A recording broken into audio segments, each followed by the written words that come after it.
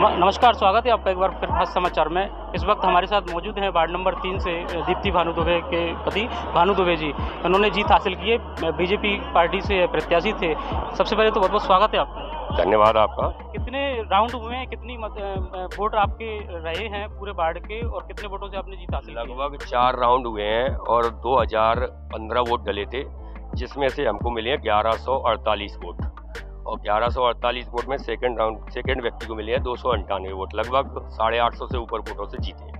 अभी तक जो भी मतगणना हुई है राउंड हुए उनमें बीजेपी की कितनी बढ़त कितने वार्डों पर वार्ड हमारा जो था वो तेरह वार्डों का था उसमें नौ पर भाजपा आ चुकी है एक पर निर्दलीय तीन पर कांग्रेस। क्या रूपरेखा रहेगी अब वार्ड को लेके आप?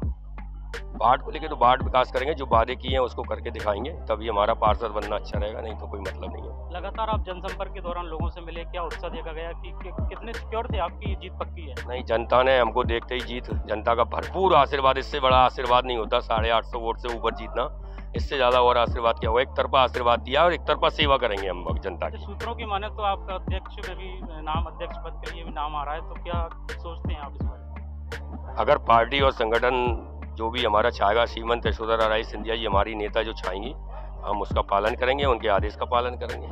सीवर का प्रोजेक्ट और सिंध जलावर्धन योजना ये दोनों मुख्य रूप से शिवपुरी के लिए एक अड़ंगा बने हुए हैं। इसको लेकर आप क्या रूपरेखा बना सीवर चूँकि नगर पालिका से संबंधित नहीं है पीएचई का डिपार्टमेंट है मेन समस्या यहाँ है पानी की और रोडों की।